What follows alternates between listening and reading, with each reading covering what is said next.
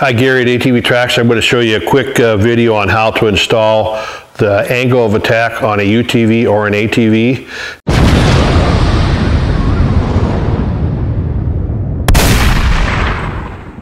Basically, the angle of attack is how high the front end is. It's measured by how high the rear, top of the rear bogie wheel is to the ground. We always do this on cardboard. The reason is when you lift it up, the cardboard moves. When you push it down, the cardboard moves back. If you don't do this, then all the track stays on the cement and your adjustments, all they do is compress the rubber.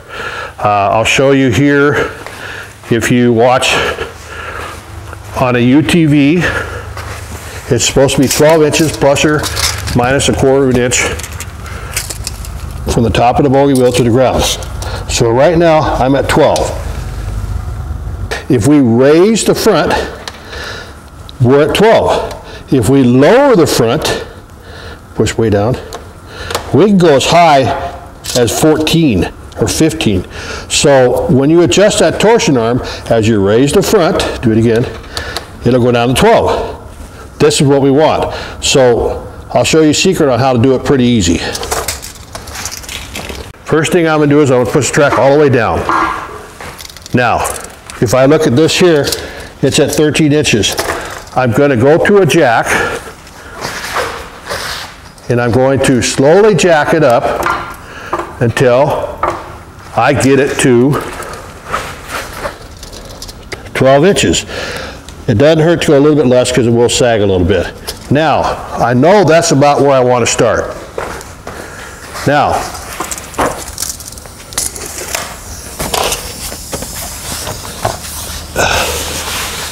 I'm going to re-verify on the inside. Right now, it's slipped, so it's at 10. Wrong way, got to jack it up. Keep going.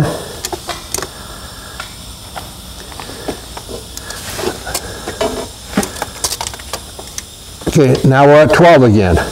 Now, I'm at 12, it's jacked up. This torsion arm is loose. The only thing you can adjust is this tie rod end. I want this to fit on this here. If it was way short, I would have to push down on it to make it connect. If it were way long, I'd have to lift it up. I'm going to just get it to where it's straight up and down. Now, I'll put a bushing on. I'll slide this in there. And I'll give it a little bit more distance here. I'll put the other bushing on with the washer and a nut.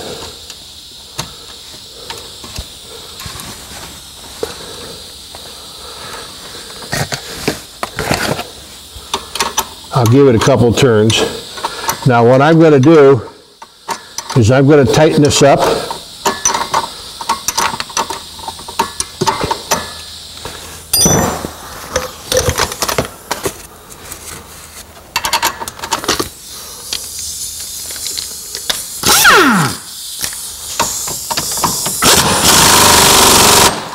Now, I'm going to remove the jack. Now, what I want to do is this rubber right here this, this swivel here was not tight, these bolts here. This rubber here, if I lift up and down, it should be just touching the rubber. It shouldn't be squeezing the rubber. Now if I measure it again,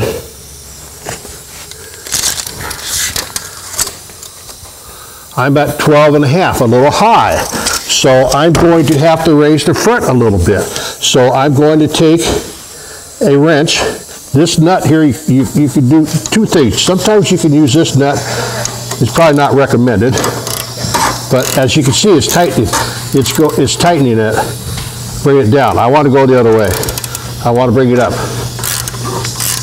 If this nut loosens up, you'll see as I do this,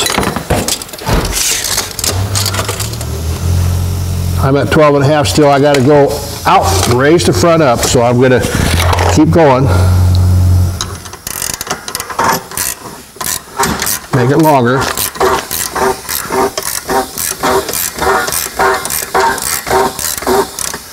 Now, what happens a lot of times is people say, well, it doesn't move. I'm still at 12 and a half. That's because I'm compressing the rubber. Now I'm going to lift it up, lift it up a little bit more. There, now it's all, now the rubber's not compressed, it's touching right there. Now I'll measure again.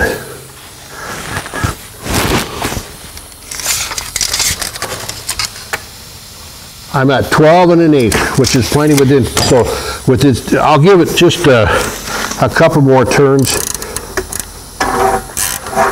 Then I want to stop with this towards the inside for my steering limiter. Now this bolt's tight. This one here should never loose. It's always torqued to 30 pounds. Now I adjust the pivoters. This makes sure that the rubber is square on, onto the product. Um, I'm going to tighten that up.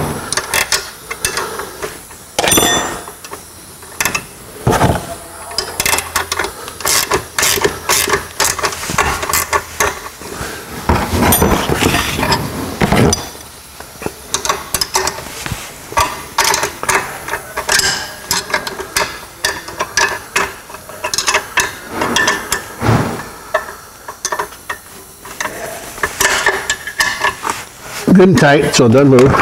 Now I'm going to go back out. I'm going to lift it up. Make sure the cardboard moves. I'm going to push down just a little bit. I'm going to go back and measure to make sure I'm approximately 12 inches.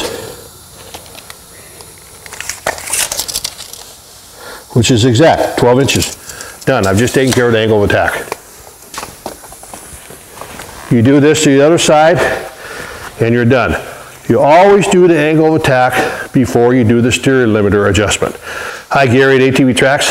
Thank you for watching our video. Phone number 866-243-8359. Local number 509-590-4653. We also have YouTube channel, atvtracks.net, which we're working on. If you don't get the videos, utvtracks.com on YouTube channel is better segregated as far as maintenance and repairs. We have two websites now, uh, atvtracks.net, utvtracks.com. Uh, give us a call. If you have any questions about tracks, please call us. We are the most knowledgeable in the United States.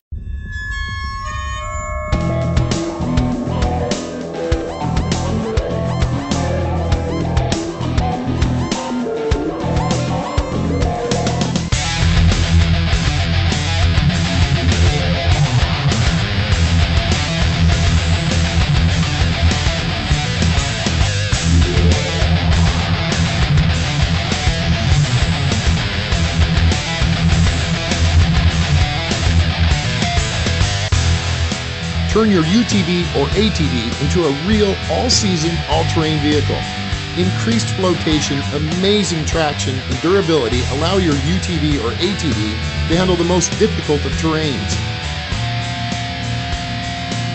Before you invest in a track system, ATVTracks.net has been in business since 1994 and have performance tested every track available.